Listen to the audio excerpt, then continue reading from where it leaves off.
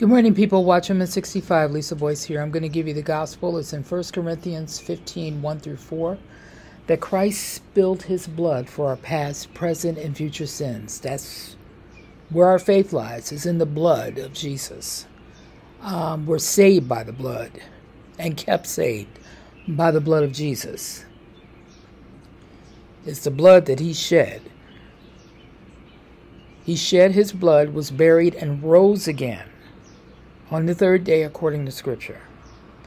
We're saved by grace through faith in Christ alone, not of ourselves, not of works, lest any man should boast.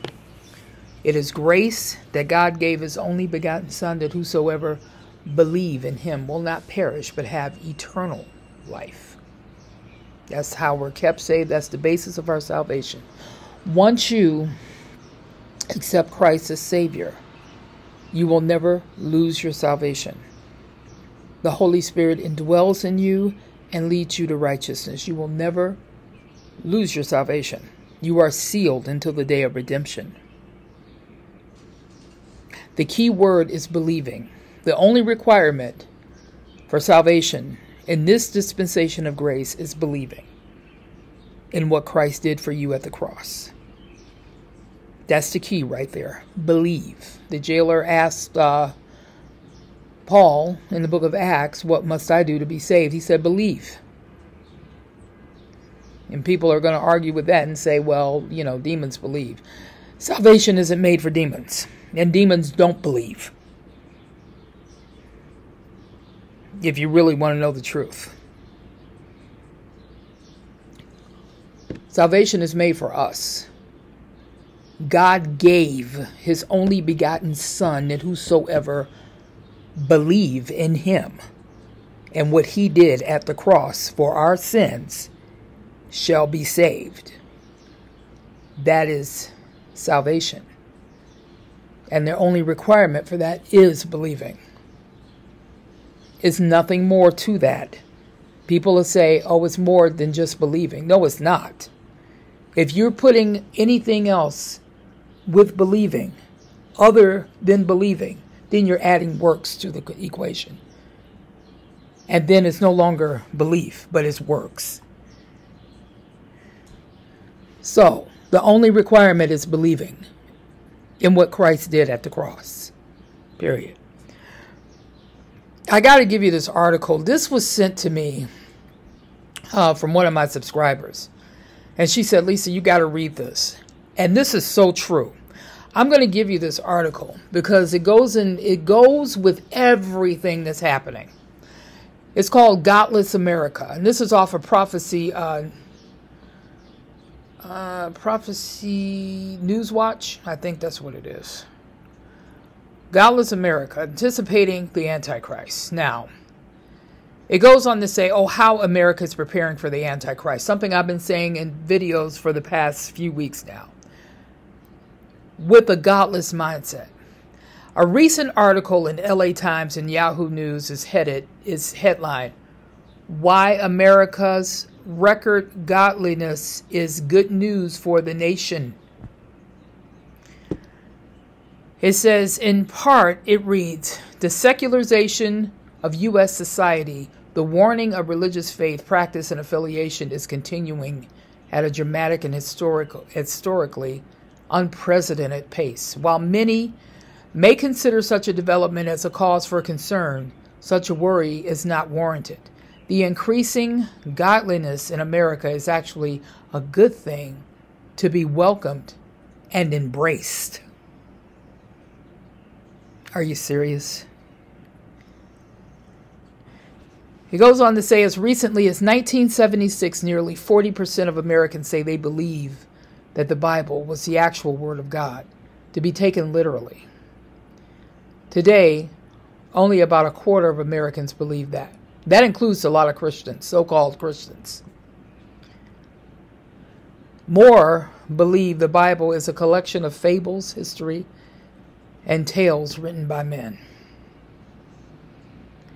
Representative Jerry Nadler, the stupid Democrat in New York, and stupid he is, recently proclaimed that God's will was of no concern to this Congress. First, the liberals kicked God out of the Pledge of Allegiance and then out of the Democrat National Convention in 2012. Until recently, they did not make an effort to force the rest of the nation to also abandon God. The consequences? Hmm. Secularization has consequences. Check out nations that have experienced it Japan, Scandinavia, Australia, the UK, and parts of Eastern Europe. How is society functioning in godless China and Russia? Once God is gone, repression almost always follows. So it's happening right here in the United States as we speak. Matter of fact, thing one made something clear. Biden says enough praying time for action. No amendment to the Constitution is absolute. Unleashes executive action on gun control. He's about to start a civil war here in the U.S.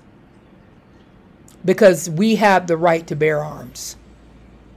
It's even in the Bible. I'll point it out to you. A lot of you know where it is. But anyway, this article goes on to say the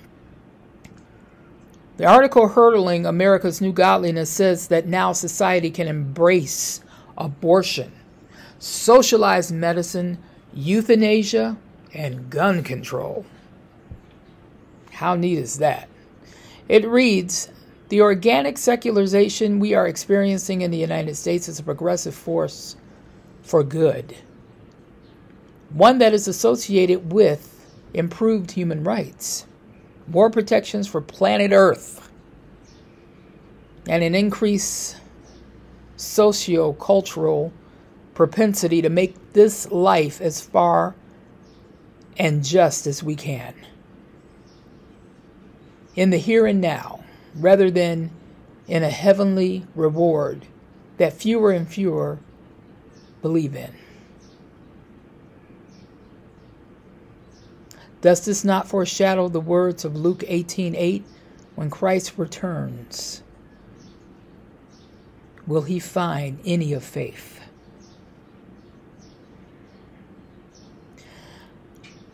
Guess what's happening?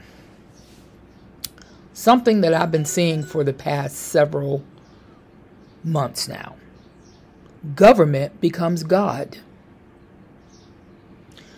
And that's what's going to happen. That's why everything that's happening is in line for the Antichrist. The government and the Antichrist is going to be God. For a hundred years, there have been an effort to make government God. Starting in 2020, an element was added that further furthered that agenda fear of pandemic. It became the perfect storm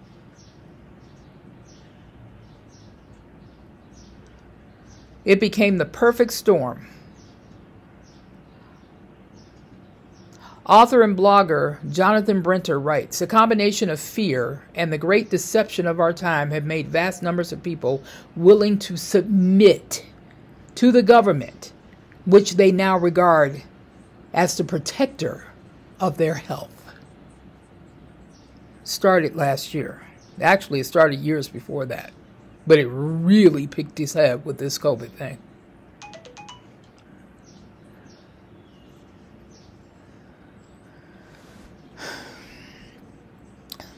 That's my husband texting me, so sorry about that.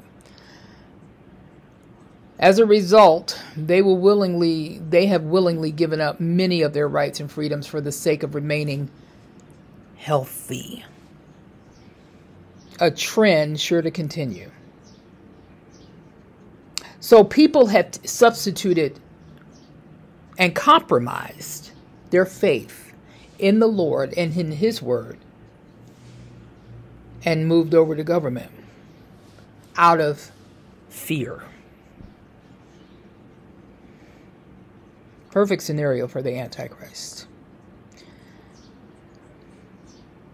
The New World Order, aka the Beast, cannot exercise its dominion over people apart from their willingness to submit and dictates of a government they trust for their well being and health.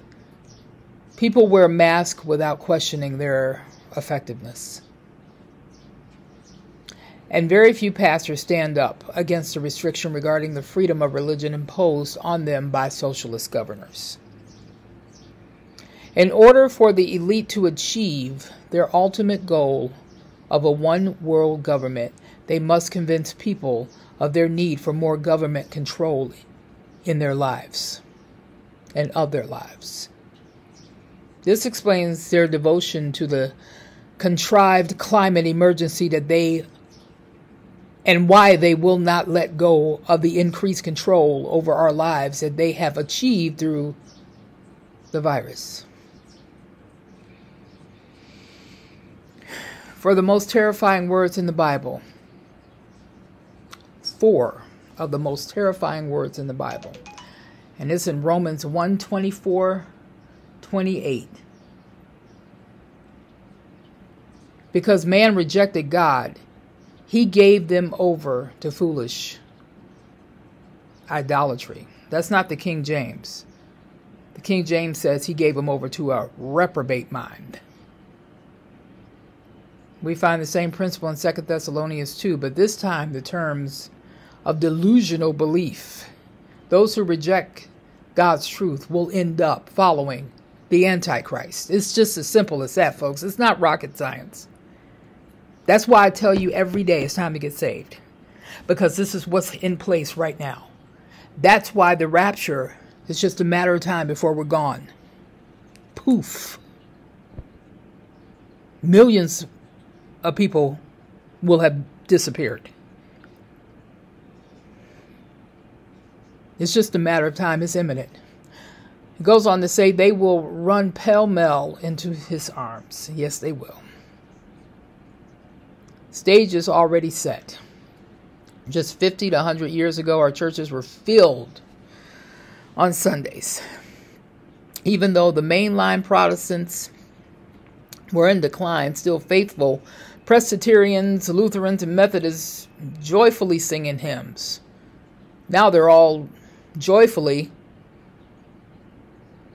and happily accepting gay pastors and women pastors. Yeah. And by the way, I have a platform on YouTube. I know I never, ever, ever, never would call myself a pastor. I'm just giving you the news and the gospel on how to get saved, and I am allowed to do that. The evangelical church was exploding in reaction to the liberalism, to the liberalism that had invaded the church. The thought of prominent U.S. congressmen stating that our government was not concerned with God's will was unthinkable. And they have done that. But 50 to 100 years ago, we were not so late in the game. Few were even thinking about the Antichrist, much less knowing or unknowingly welcoming it, his coming. Now he's on the horizon. So are the four horsemen. Believe me, soon as the rapture takes place, as soon as the rapture takes place, all hell's going to break loose for a while. And then there might be a norm, a little bit of a norm there. And then this man who people will embrace as a god will unleash hell and fury. Evil is on his way. So is the return of the Lord in what is known as the rapture of the church. That's the good news in the midst of a sad story. He's coming soon. Whether the church talk today talks about the the, uh, the rapture or not, he's still coming. The rapture is imminent. Nothing can stop it. It's at any moment. While most people no longer believe that Jesus is coming back, researchers in the Middle East have discovered new evidence that proves the prophesied rapture is not only real, but why it must soon come to pass. I'll leave that. I'll leave this article in the description box, folks. We are literally waiting, awaiting the rapture. I'm just, I sit back and I watch. I have a wide open sky here. I sit back and I watch. I'm just waiting for the sky to unfold like a scroll. I'm listening for the trumpet. I'm no longer looking at signs because the signs are there. They they're already there. I mean, people if you if you can't see this, then you you're delusional. And people have and have written me and said, "But people have been waiting for the rapture for years. I've been hearing this for years. Look at when look at years ago and look at right now. It's a different time frame. It's a totally different time frame. Years ago, if this would if I would have thought that this was going to happen years ago, I would have been I never would have believed it. But look at where we are right now compared to years ago. I know you've been hearing the same thing. The rapture is coming. The rapture is coming. But I've been, people have said to me, I've been hearing that for years. Look at where you are right now. The rapture is imminent. The rapture is coming. Things had to happen in order for the rapture to take place up until now. Up until now. I still feel in my heart of hearts, if we're here past December, that's when I'll be shocked. I'm just saying. I'm not putting a date on it. I'm not putting anything on it. But we, the way things are going with these wars and rumors of wars, I doubt. I doubt seriously if we're going to be here much longer. And it's time, and it's already, it's already a sense of deception out there on the planet. Because reading this article, I already see that people have walked away.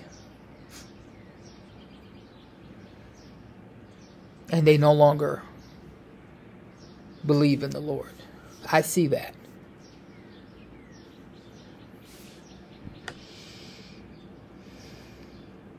But looking back years ago and looking back up until now,